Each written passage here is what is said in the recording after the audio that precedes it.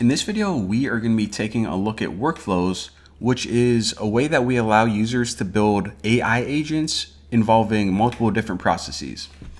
Now, if you go over to your registry page, you are going to have a new tab that says workflows. Go ahead and click on that. And I already have two workflows set up that we're going to be taking a look at in just a bit. But before we hop into these examples, let's go ahead and create a new workflow just so we can learn about the basic building blocks of what workflow actually is. So once you click that, it's going to ask you for a name. I'm just going to name it sample workflow for this demo. In here, what we're faced with is a blank canvas. So before we get to adding anything to our workflow, we'll just go over some of the basic concepts. Like I said, the first one is input variables. So similar to a prompt template, input variables are just any additional data that you want to provide to your workflow. Now this data is going to be processed later on, which we'll take a look at right now. So the processing of this data is done by the individual nodes. Now, if you right click anywhere on your canvas, you can add a new node and you can think of these nodes as different functions.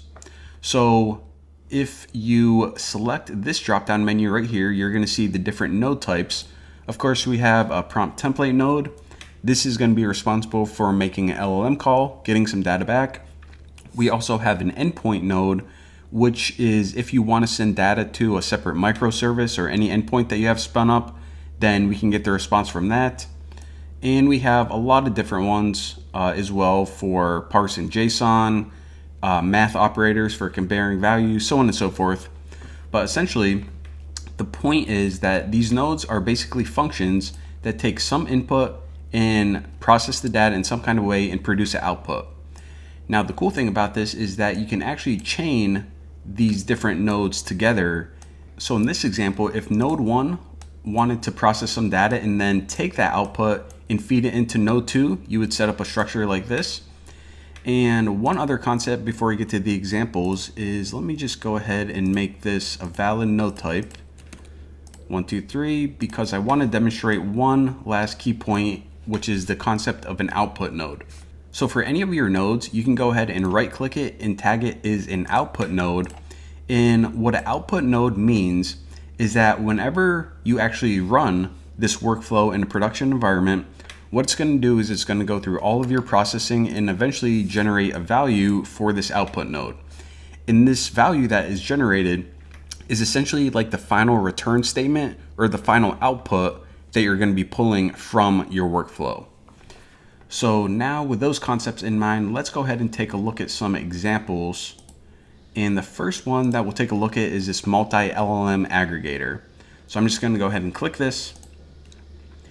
And then I already have a couple versions, but I'm going to go ahead and click go to workflow builder just so I can have this in kind of uh, draft mode. And what this is doing right here is I have this set up where I am using three prompt template nodes to make three LLM calls. And what it's going to do is it's going to take some input and I'll just say uh, prompt engineering tips and I'm going to go ahead and save those. And then I'll go ahead and run this and I'll talk you through what's happening. So the idea behind this is that it's often useful instead of just taking your input and selling it, sending it to one LLM, it's often useful to send it to multiple different LLMs or multiple different models because they each have their different strengths.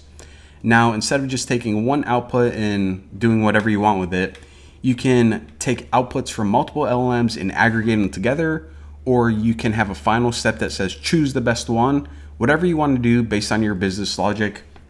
But this is a way that you can structure it. And in this case, as you can see, each of these produced an output. And then as the last step, what we did is we just aggregated them together. And this is what I have is my final output node. So there you go. Now another example that I want to show you is a recommendation engine. So here, let me go ahead and pop this open. And what this structure is doing is generating a recipe recommendation for a given user. So the input for this, we have three pieces of information from the user, country, favorite food, and interest. So I'll say country, Italy, My favorite food, I'll say pasta. In my interests, I'll say chess and hiking. So I'm just gonna go ahead and save those. Now, what this workflow is going to do is for each of these inputs, it basically aligns with each of these branches. So this first branch at the top is going to be taking this country data and it's going to be reaching out to a vector store to pull in relevant recipes that we're eventually going to filter down and suggest one to the user. Now I'm going to go ahead and kick this off and I'll talk through exactly in more detail what each step is doing. So before we make the query to the vector store, it's often useful to pre-process this data in some kind of way.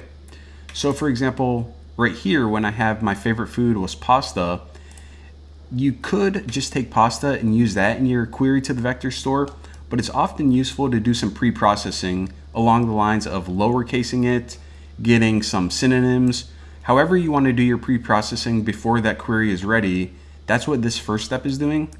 And then the second step is taking this data and using it to retrieve results from a vector store. That's what this step does. And then this last one is just filtering out any irrelevant results. And then all of these are feeding into this final prompt template node, which is just saying, here are my results from these three different branches, combine them together into a final uh, recommended recipe. And that's why it spit out this right here. And you can see again that this is my output node. So later on, whenever I use this in my production code, this is gonna be the value that it's gonna be pulling out. Now, one other feature that I want to show is that in addition to running your entire workflow, which is going to process every node if you click this button, what you can also do is you can also rerun certain sections of your workflow by clicking this Start Here button. And then whenever I run this, you can see that this node reruns and also any nodes downstream from it. So just want to point that out because if you are making some updates, you don't have to rerun the entire workflow every time. You can just rerun certain segments of that to help speed up your development process. So that is our feature. Hopefully you enjoy it. Thank you.